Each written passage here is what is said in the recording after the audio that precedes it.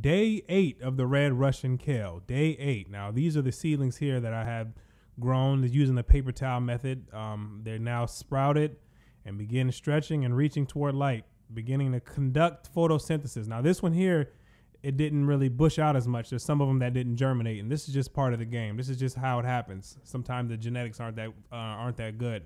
Now it's being inserted into the soil wall. There's a little pocket there, and it's dripping the nutrients are dripping from the top along with the um, water um, is being supplied to the plant. So this is just easy. Here's day 14 right here. Now, if you take a look, take a look closer, you can see the little little leaves uh, coming in. They look like little fingers, little cockroaches. I don't know what these things look like. Little alien fingers.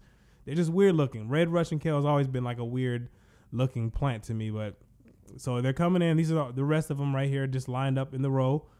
Um, and this is day 20 now. Something you can see right here. This is one of the bad things or the downsides of growing baby salad greens because it's almost time for harvest right now, but it, the plant has a deficiency. It has a deficiency. That's why it's starting to yellow and show chlorosis.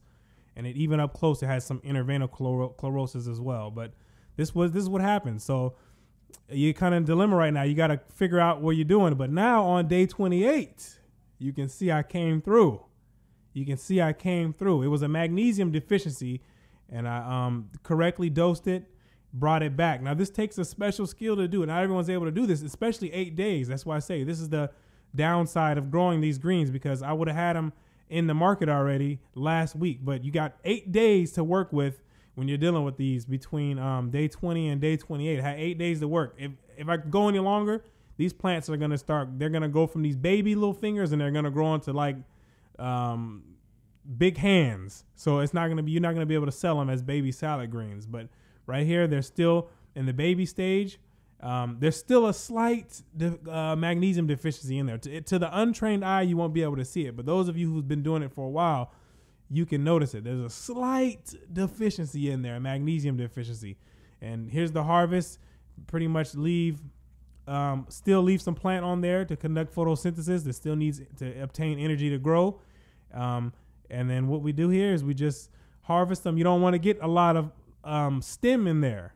So you see right there, there's no, there's not too much stem on. Or there's no no stem on there. So we're doing pretty good. You want to have as much, the least amount of stem as you can. Nobody want to be chewing on stems. Now overall, it's a good plant to grow. It's easy and it's popular.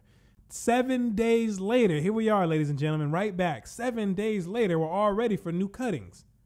Only seven days later, you have a new set of leaves that have grown, and it's time to harvest once again. This is the beauty about this ever uh, the perpetual harvest. This is Brooklyn St. Mickell with the School of Aquaponics.